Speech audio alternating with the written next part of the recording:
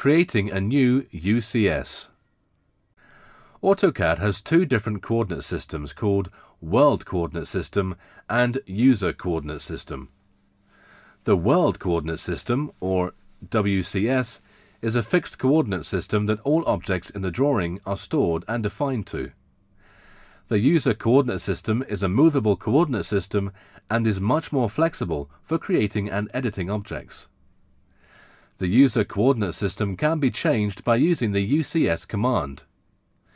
To make it easy to create a new UCS, AutoCAD 2009 offers a number of options that can be selected from the view. Let's see how to create a UCS using the options. 3 point. It allows you to specify a new origin for the UCS and designate the positive direction for both the X and Y axes. Here are the steps to be followed. Go to View tab and three-point option from the UCS panel.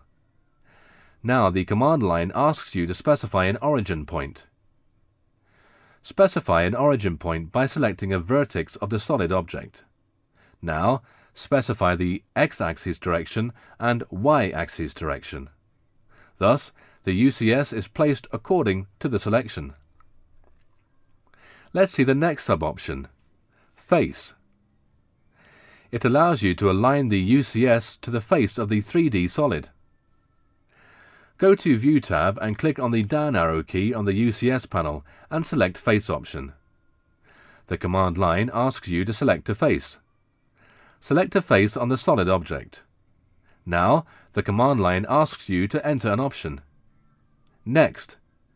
It allows you to select another face related to the selected face and places the UCS icon in different vertex points. X-flip. It flips the direction of x-axis. Y-flip. It flips the direction of y-axis. Now press enter to complete the selection of UCS. Let's see the next sub-option, Named. It is used to save and restore the commonly used UCS orientations by name. Type UCS on the command line and press Enter. Now specify NA and press Enter, or simply we can select it from the UCS panel in View tab. Enter an option. Restore.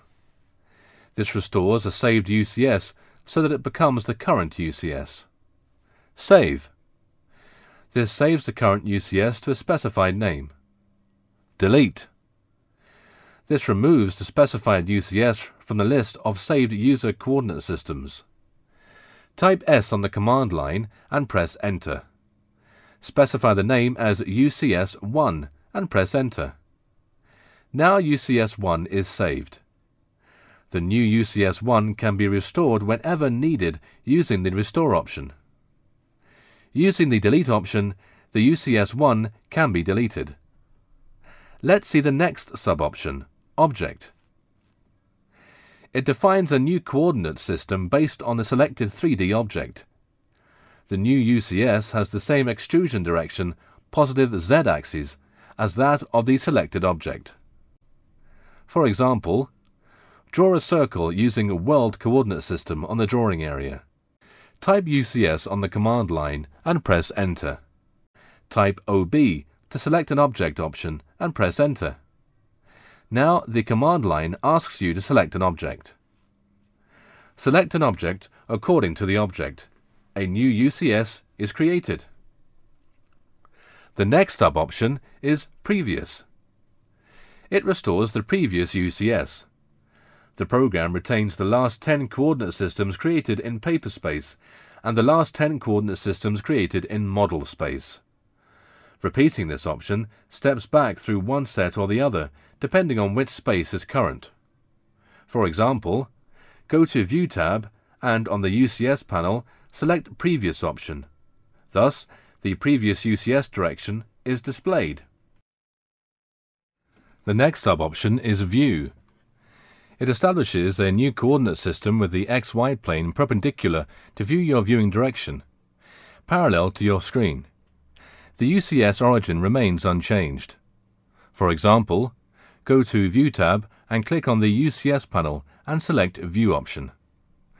Thus, the 3D view coordinate system is changed into 2D view coordinate system. The next sub-option is World. It is a default option on the UCS command.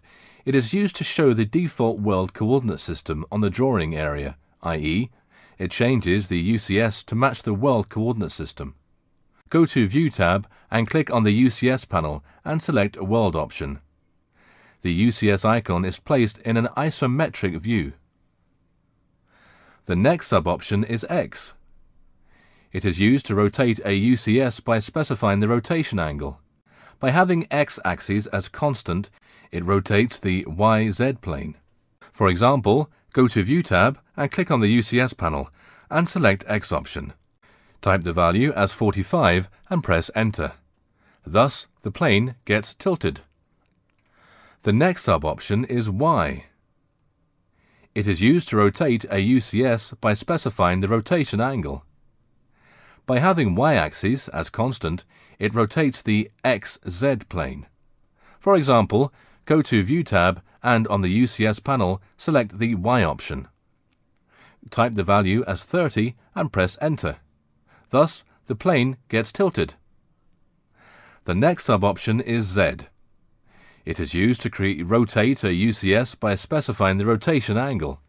By having Z axis as constant, it rotates the XY plane. For example, go to View tab and on the UCS panel select Z option. Type the value as 20 and press Enter. Thus the plane gets tilted.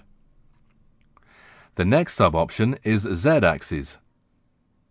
It is used to create a new UCS by selecting two points. One point is used to specify an origin point of a new UCS and another point is used to specify positive direction of z-axis.